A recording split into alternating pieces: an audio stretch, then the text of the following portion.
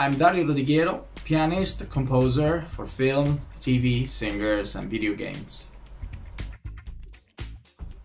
I started playing piano when I was a kid, um, but I started making music for films, composing around five years ago.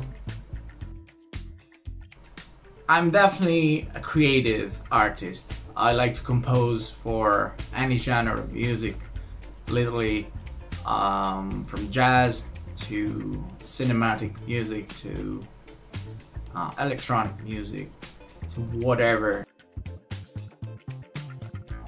Probably the way I started composing for films. I was busking in Grafton Street in Dublin. From there, I went to play piano in venues, restaurants, and one night I was playing piano uh, for a dinner and a customer came over and said, would you be able to, to make a soundtrack for a movie I'm working on?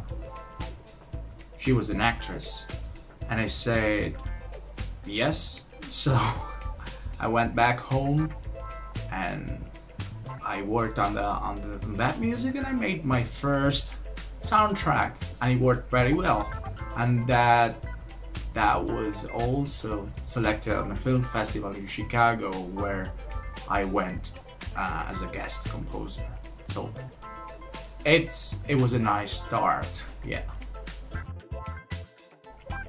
plans for the future already happening. I'm working on different projects for video games, films, um, both in Ireland and United States as well.